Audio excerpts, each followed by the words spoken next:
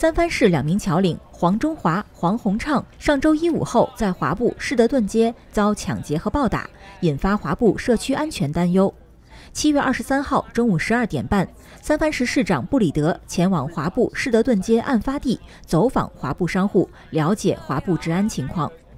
布里德在中央警署分局长易文耀、华埠商户代表陪同下，和黄洪畅进行交谈。之后又沿士德顿街从 Jackson 街走到 Washington 街，期间拜访了几家商户，听取商户有关安全问题的担忧和建议。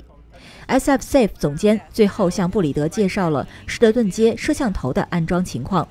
预计该街闭路电视的安装工作在接下来六至八周内可以完成。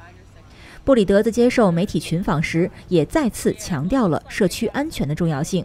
他表示，了解上周发生的事件让民众惶恐。现在要做的是重建信心，令社区民众知道市府正沿士德顿街安装高清摄像头，将会尽所能增派警力巡逻华埠，会寻求其他任何可能的解决方案，让民众感到安全。